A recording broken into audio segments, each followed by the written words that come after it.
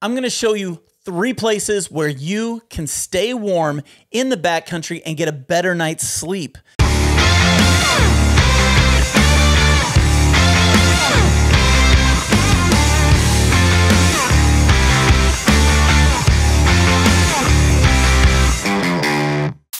What's going on, guys? John Kelley here today, and today I want to talk to you about staying warm when it's cold outside. What do you do when you know that it could be near freezing or sub freezing temperatures? You want a backpack, but you're scared that you won't be able to sleep warm at night. We're going to talk about that today.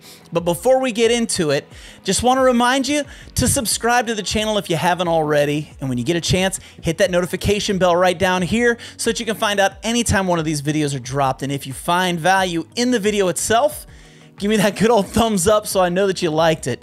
I'm going to show you three places where you can stay warm in the backcountry and get a better night's sleep. The first place where you can protect yourself when you're trying to get a good night's sleep in the woods is in your sleep system. And specifically, I'm talking about your top quilt or sleeping bag and your sleeping pad or underquilt. If you're using a hammock, you're probably using an underquilt unless you have a double layered hammock and then you'd be using a sleeping pad. The first thing you need to understand is your top quilt or your sleeping bag. What is the temperature rating?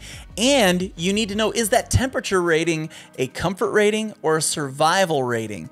That's hugely important because a lot of times when you see mass produced sleeping bags, they'll give you a temperature rating of, say, 15 degrees. But when you investigate further, you find out that that's the survival rating. In other words, at 15 degrees, you won't die, but you will be freaking cold all night long. You need to understand what the comfort rating is of the sleeping bag or quilt that you use. I actually did a review on a sleeping bag not too long ago that was a 15 degree sleeping bag, and I can tell you at 15 degrees, it's not the warmest sleeping bag, but at 30, you're in pretty good shape. But it's temperature rated for 15 degrees. But when you do some investigation, you find out that is a survival rating. On the opposite end of the spectrum, with UGQ quilts and Enlightened Equipment and others, they actually give you the comfort rating of their quilts and sleeping bags. What that allows you to do is to know that if it's 15 degrees out and it says it's a 15 degree quilt, I will have no problem staying toasty warm. Just a few weeks ago, I was in Grayson Highlands down in Virginia, and I brought my UGQ 40 degree underquilt. And unbeknownst to me, it dropped down into the low 30s that night. But I slept toasty warm because it's a temperature rating that is a comfort rating, not a survival rating. Basically, what that gives you is confidence that the sleeping bag or quilt that you're using is actually going to keep you warm when the weather gets cold. When that temperature drops, you don't have to be afraid of whether or not you're going to stay warm inside of that sleeping bag or quilt. Now, if you're a beginner to backpacking, one of the things that you may not realize is that when you sleep in a sleeping bag, everything that's under your back is not insulating you at all. It doesn't matter if it's a zero degree sleeping bag. If you're laying on the back part of the sleeping bag, you're compressing all of the down or any insulation that's in it, and it immediately causes that insulation not to do anything because the insulation uses the space in between the feathers or whatever the insulation is to be a barrier between you and the colder elements, and that's what keeps you warm. But the moment you flatten that stuff out, you get rid of all of the insulative qualities of that. So whatever's behind your back is of no use to you. That's why a sleeping pad or an underquilt are so important to keep you warm in cold weather. When we're talking about sleeping pads, one of the, the key things that you need to know is something called R value. R value is basically the resistance value of the sleeping pad. In other words, how much does it resist the cold that's coming up from the ground? How much is it protecting you from that cold? And so you you've got these R value things from usually around 2 is the lowest, which is little to no insulation whatsoever, up to 5.5, which is really a warm sleeping pad. You want to know this because in the summertime, you don't want a heavily insulated sleeping pad because you're not necessarily wanting to sleep super warm when it's hot outside.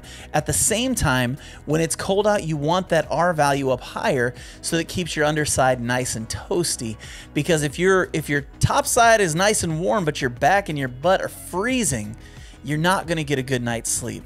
So understanding R value is very important. For me, I use the Nemo Tensor Insulated.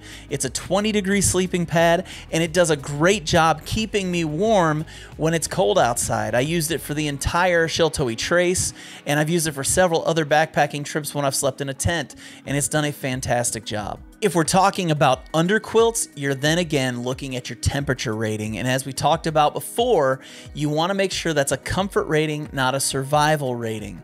There is nothing worse than getting a cold butt when you go to sleep at night and waking up not being very comfortable. So you want to make sure you find an underquilt and that you secure it properly so that there's no drafts getting between your hammock and your underquilt. You want to make sure that that underquilt has the right temperature rating so that you're staying warm inside of your quilt.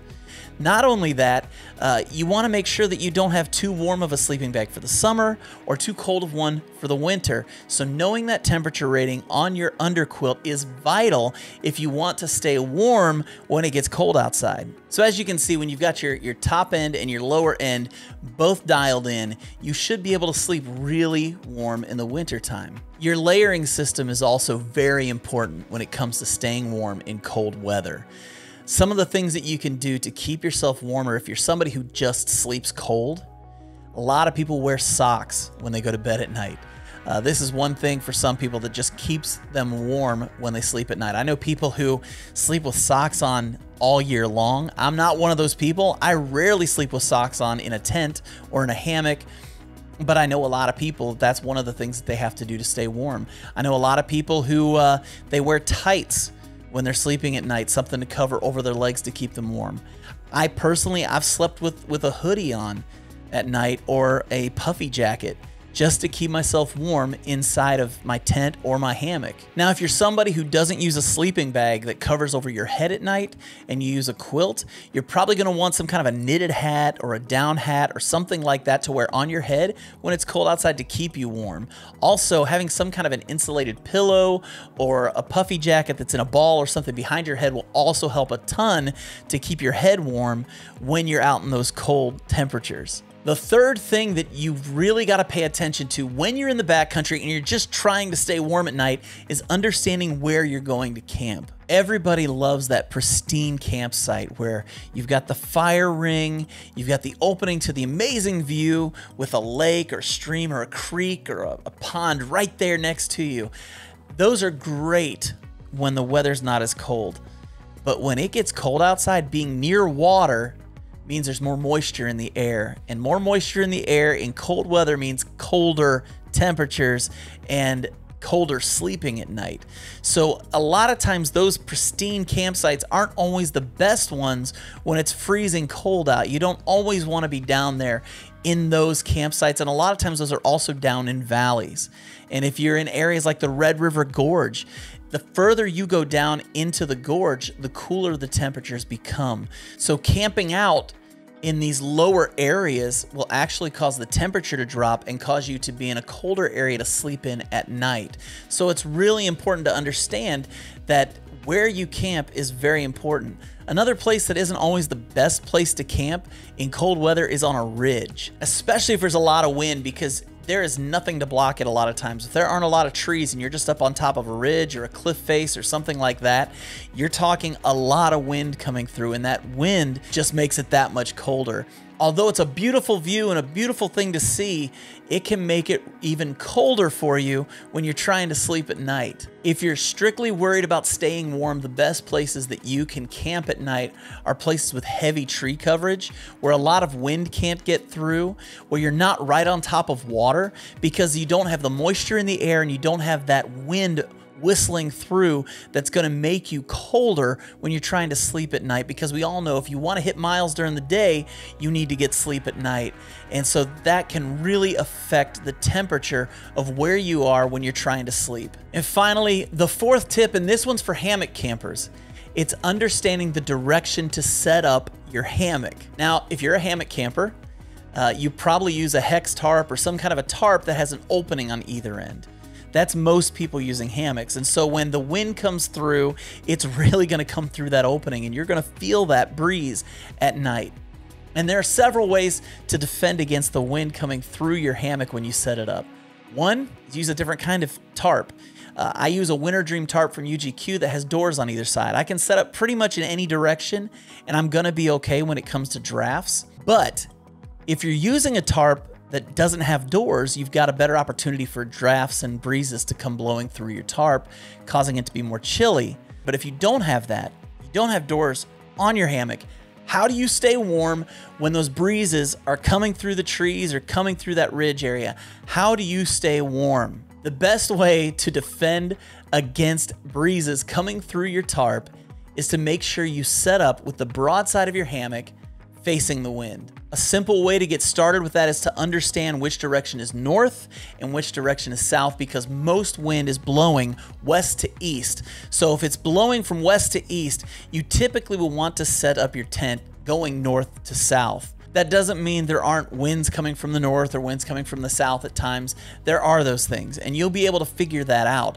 But make sure you know which way the wind is coming from and make sure that the broadside of your hammock is facing that wind. Your tarp can then defend against that wind actually getting into your hammock and freezing you out in the middle of the night. And I can promise you, you can have the warmest underquilt and top quilt in the world when you're in a hammock, but if that wind comes through the right way, it's gonna be chilly. So make sure you understand where the wind is coming from and find some trees that allow you to set up against the wind as opposed to through the wind. So there's a few easy ways that you can fight against sleeping cold when you're out in the back country. And if you found any value in this video whatsoever, make sure you give me that thumbs up. Also, leave me a comment below. What do you do to stay warm when the weather just drops the temperature out from below you? You can also follow my adventures on Instagram right up here. Go there and check out different pictures when I go on trips. Also, you'll find out updates on there about the backpacking podcast with myself and Jeremiah Stringer. And until next time, stay strong, hike long, and I'll catch you on the next go around. Let's do that whole thing over again because that was just not good. There are three places where you can save yourself. You can save yourself? I'm talking about three things. Two things. Two, just two. I'm not even talking about three things. What in the world is going on today? I can't even talk. Man, I'm dying here. I can't even talk today. Sleeping bag. Okay. Let's do it again. And I took my 40 degree UGQ. Ha, UGQ. I can't talk again. Why do I suck at talking? I should be good at this by now.